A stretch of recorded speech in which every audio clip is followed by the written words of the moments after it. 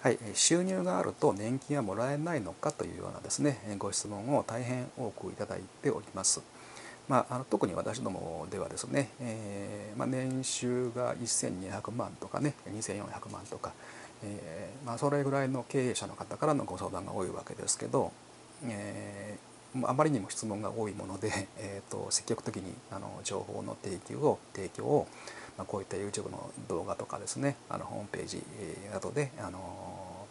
この在職支給停止経営者の在職支給停止について積極的に情報提供を行っております。